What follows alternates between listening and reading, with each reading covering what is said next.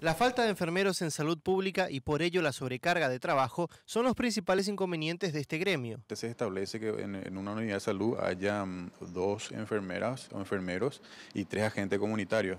Hoy una unidad de salud, esta familia está trabajando con un médico y una enfermera nada más, era para 3.000 a 4.000 eh, usuarios, así como se dicen. Los dirigentes de las filiales de la Asociación Paraguaya de Enfermería, API, se reunieron en Asunción a fin de abordar la problemática de los enfermeros. Eh, fuimos convocadas por el, ministro, por el ministro de Salud para el día martes, así que vamos a, a estar llevando una propuesta de aquí de esta sesión. Adelantaron que el principal pedido será la asignación de más rubros para la contratación de más enfermeros en salud pública. Profesionales hay, existen más de 5.000, entre 4.000 y 5.000 profesionales de enfermería desempleados. También denuncian que los consejos locales de salud con fondos transferidos por la cartera sanitaria, contratan enfermeros por debajo del salario mínimo aprovechando el desempleo.